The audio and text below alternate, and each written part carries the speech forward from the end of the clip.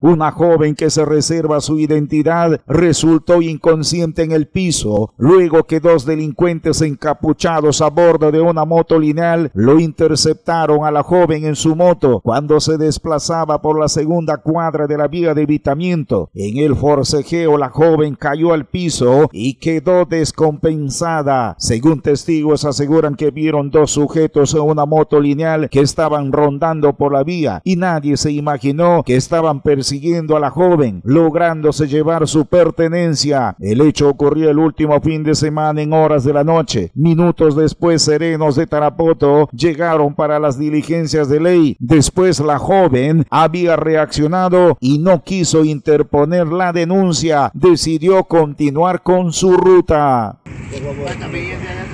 Bueno, una persona está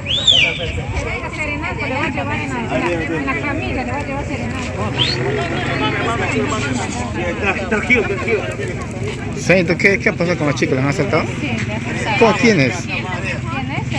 Una moto lineal venía embalado. ¿Ya? Parece que ya le seguía. ¿Ella venía caminando?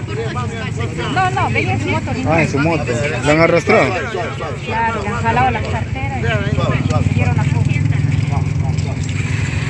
Bueno, ahí está una, una señorita ha sido víctima de asalto.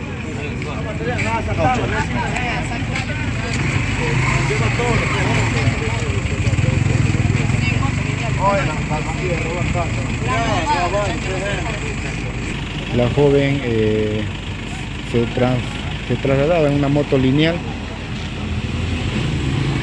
y dos sujetos a bordo de moto lineal han llegado este, rápidamente y le han quitado sus pertenencias.